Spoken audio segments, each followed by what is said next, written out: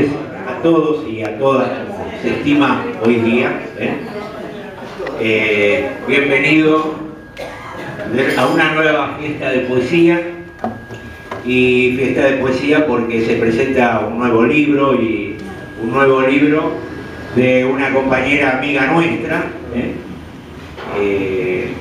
que nos ha invitado a hacer una mini presentación junto con Mario Bergenfeld este, a decir algunas palabras y a escuchar y a escuchar la poesía de Beatriz, eh, a quien bueno, yo conozco hace muchos años, prácticamente de cuando me inicié en la poesía, ¿eh?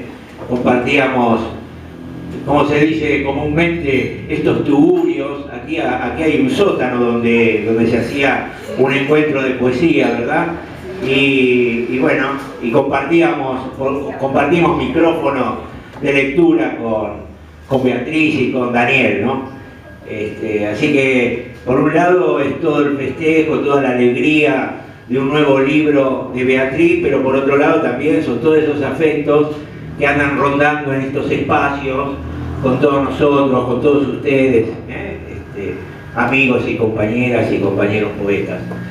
Eh, bueno, vamos a decir unas palabras, le voy a pasar primero el micrófono a mi compañera Mario Bergenfeld y vamos a decir esas apreciaciones que, a, los que nos movió y a lo que nos movilizó el libro de, Beatriz, ¿no? que se presenta hoy. Así que, bueno.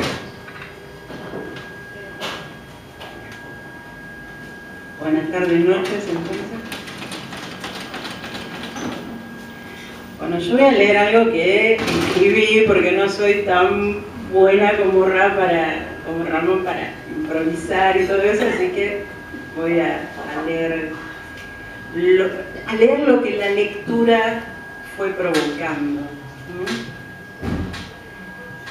Presentar un nuevo libro siempre es una celebración, una ceremonia de iniciación que hace pasar al autor por el agua del bautismo o por la lluvia del bautismo, como en este caso. Pero no solo para el que da a conocer su obra, el momento es mágico. También los encargados de develar el misterio, como en este caso Ramón y yo, lo cual agradecemos porque es un, es un honor, ¿no? De algún modo estamos siendo iniciados. Ante el primer contacto con un nuevo libro que habrá de ser presentado, uno siempre se pregunta, ¿qué voy a descubrir? Porque como un hijo que uno ve crecer y va mostrando sus facetas desconocidas, leer un libro con ojos de presentador puede resumirse en un sentimiento puntual, el asombro. Yo voy a compartir con ustedes algo de ese recorrido por las páginas de Y la llovizna leve. Un poemario en esencia clásico, con esa transparencia a veces difusa, tan típica de las acuarelas del siglo XIX. Y me voy a detener un momento, un poquito, en el término acuarela, porque grafica perfectamente el imaginario de Beatriz, tal como voy a tratar de mostrarles. Acuarela es una palabra que proviene del italiano, acuarella, más o menos sonaría así. Hace referencia a una pintura sobre papel o cartulina, con colores diluidos en agua. La técnica transparente de la acuarela implica una superposición de lavados finos y se basa en la blancura del papel para obtener sus efectos y sus toques de luz.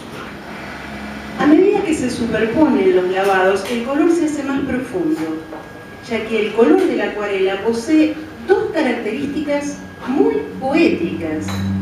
Una es que se puede modificar añadiendo o quitando agua.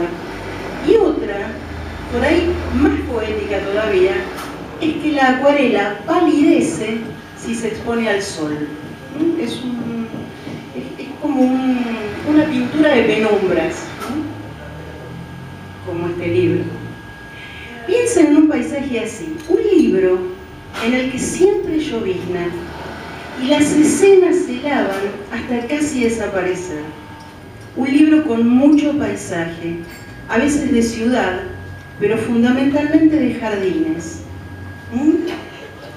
Ya que si algo noté una vez que empecé a recorrerlo, es la aparición de un universo vegetal, que les voy a citar. ¿eh? Yo fui marcando y aparecían, aparecían flores, aparecían especies vegetales, violetas, malbones, rosas, tulipanes, jazmines, cactus, lilas, lirios, tréboles, tilos, amapolas, margaritas y eucaliptos.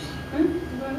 va recorriendo entre distintas especies vegetales, porque el contraste entre naturaleza y ciudad es tal vez una de las tensiones básicas de este libro, en los que reiteradamente aparecen el Almagro de la infancia, Versalles y un idílico morón. ¿Mm? Voy a citar algunas frases. No soy la misma, la de aquella bicicleta dorada que recorría la calle Lavalle. Y es que tal vez todo este libro sea la construcción de un espacio intermedio entre el campo y la ciudad. Un espacio que combina vegetal y cemento, es decir, el barrio. La cito nuevamente. Habrá que restaurar el baile de los árboles en las ciudades ciegas. Porque la imagen del barrio es lo que queda de la niñez. A veces recuerdo las altas paredes de mi casa, los árboles ancianos de mi calle. Mi infancia soltó sus pétalos azules en el eterno vaivén de la memoria se evoca una infancia feliz, mítica, una madre a la que se extraña.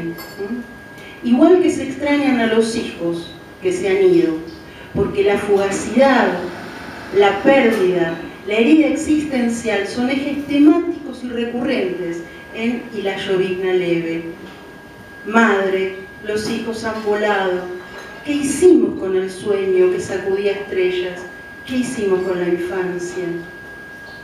todo sufre una transformación, incluso los jardines, que una vez fueron símbolo de juego y florecimiento, que se alimentaron de lluvia para existir, también pueden transformarse en estas páginas, en los jardines de la muerte, sobre los cuales una llovizna tenaz no hace otra cosa que lavar y lavar la tierra. ¿Por dónde pasa mi historia? ¿Por una calle sembrada de eucaliptos? se pregunta Beatriz. Y al mirar hacia atrás, su mirada poética es de dolor, porque la conciencia del tiempo perdido duele. O como concluye el primer poema de este libro, al fin todo se pierde, salvo alguien que nos nombra. Nombrar, escribir, es recuperar aquello perdido, y la llovizna leve es el tiempo, como dice el compañero en la, contratapa, ¿no? Es el tiempo que imperceptible cae y cae sobre nosotros, dándonos la vida y la muerte a la vez.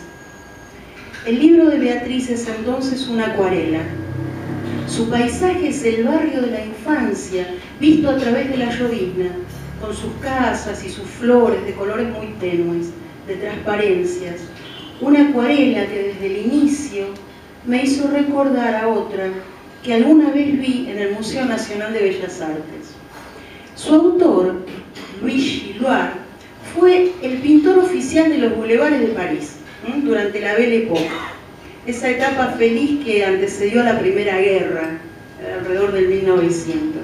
La acuarela, si alguna vez van al Museo de Bellas Artes o lo han visto, se llama En las calles de París muestra una ciudad lluviosa al atardecer. En primer plano, muy cerquita del espectador, sería aquí cerquita de ustedes, figuras humanas que son como sombras, son apenas sombras de figuras humanas. En el plano intermedio hay árboles altos que llevan la mirada hacia el cielo y ponen a los grises un toque de verde pastel. Y al fondo, casas bajitas que comienzan a iluminarse porque es la tarde, empiezan a encender las luces, y un gentío muy como fosforescente, como si se tratase de una población fantasma.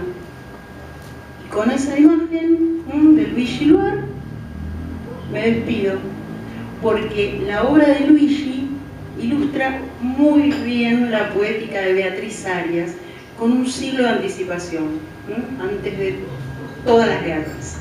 Así que, bueno, una cuadra.